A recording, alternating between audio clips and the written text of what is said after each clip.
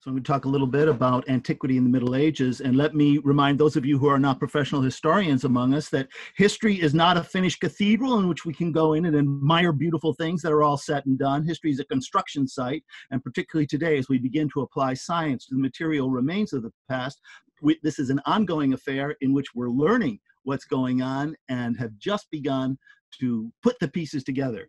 So this is a report on very unfinished business the written history of Western Eurasia teaches us that there were at least four major pandemics, three under the Roman Empire and one at the end of the Middle Ages, at the beginning of modern Europe. Under the Roman Empire, the big three uh, were the Antonine Plague in the middle of the second century, pathogen unknown. Galen described it and uh, thought that it might have, it, it sounds like it could have smallpox, but there's no biological evidence of that. Um, the plague was unknown practically until 2015, and uh, a PhD in this department, Kyle Harper, former PhD, uh, resurrected a lot of unknown written evidence documenting it. Pathogen unknown resembles Ebola.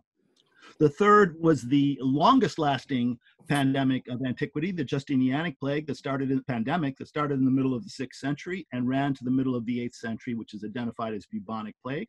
And then fourthly, we have at the end of the Middle Ages, the second bubonic plague, plague pandemic that began with the Black Death, crossed the Mediterranean from the Black Sea and reached all around Europe and back into Asia starting in 1346, and then had numerous outbreaks that continued until the 18th century.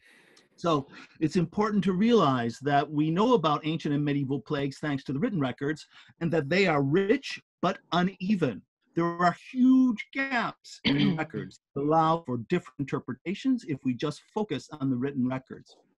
Archaeoscience has begun to change things in a big way.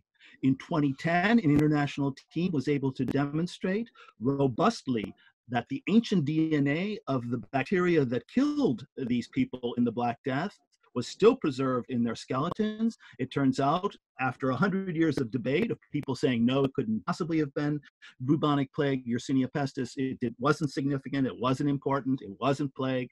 It turns out it was plague. And now we're in the process of reconstructing that uh, pandemic based on the genetics uh, of the people who died there the, it's important to grasp too that the broader science of the human past is casting totally unexpected light on the impact of these ancient and medieval pandemics.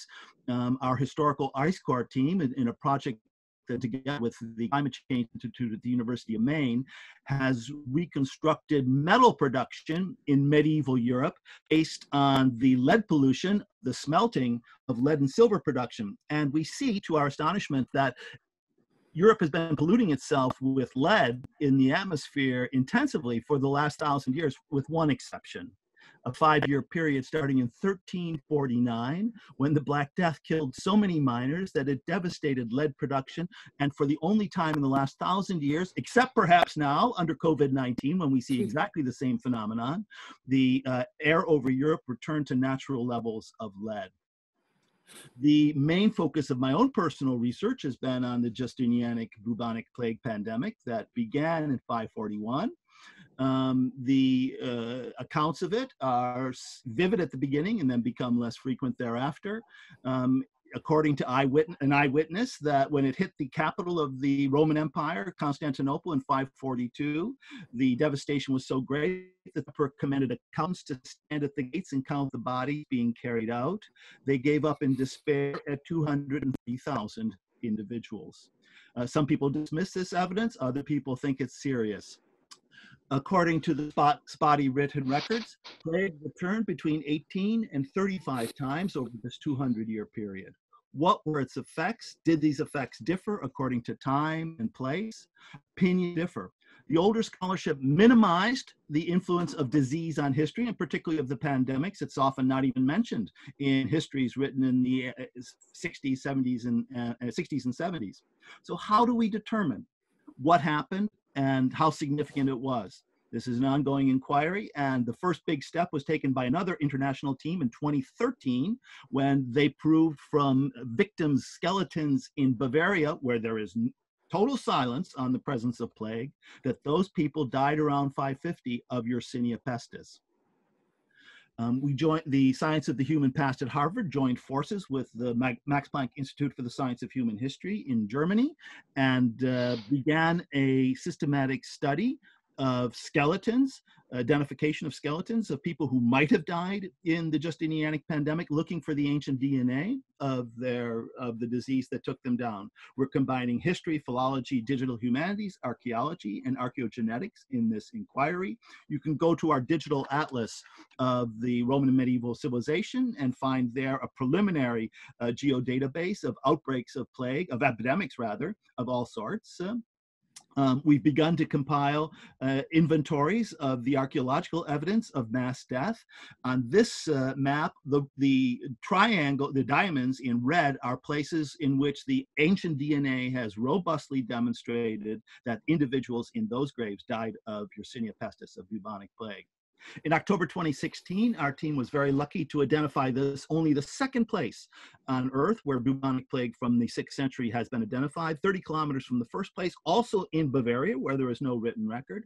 Here, the genome was so well represented uh, so well preserved that Michael Feldman, the lead author of the study, led us all in reconstructing the whole genome which is fantastic because as more victims emerge, we'll be able to compare the genomes and trace the minor uh, um, mutations that occur from genome to genome and so track the spread of the disease across the ancient space. Just as scientists today are tracking uh, uh, COVID-19 through the mutations of the RNA in different victims.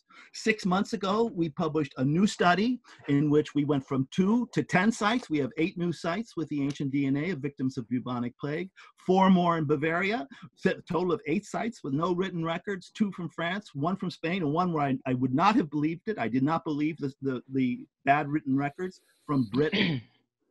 so what are the takeaways? It's a work in progress, but we have entered a new era of molecular historical knowledge. We have been able, uh, present day scholars and scientists, to identify definitively and robustly the pathogen of two of the greatest pandemics in recorded history. We're beginning to see the specific historical conditions of their impact, the existence of robust and intense communication networks, the shipping of the Roman Empire or of medieval trade that moved the rats that are the carriers of bubonic plague around the world, the, the airliners that move the humans that are the carrier of COVID-19 around the world, the economic impact still being assessed in terms of demography, already clear for the Black Death, under debate for the Justinianic pandemic. A positive side, if you survive the, the uh, Black Death or, or the Justinianic pandemic, you were lucky because everybody else died and you inherited wealth. The per capita wealth increases in times of pandemic. The challenges are great. Before the pandemic that we are living through, I had not been as profoundly moved by the constant expressions of fear and terror that litter the sources from the ancient world that describe this and the deep anxiety. The shaking of institutions and belief structures is perceptible and clearer to me today because of our present experiences. The scapegoating tragically as well. There's also adaptation. Uh, in the uh, both in the Justinianic pandemic and certainly in the Black Death, it becomes clear that distancing was understood to make a difference. And so we use today the medieval Venetian word quarantina because the Venetian Republic in the Black Death adopted the law that ships that were coming from plague ports had to stand off of port for 40 days, quarantina, to make sure that anybody who had the plague on board was dead before they came into Venice. And also the shortage in, of labor probably encouraged various labor saving technologies. There's much to be discovered, but I'll leave it here and pass the, the word to my dear colleagues. Thank you.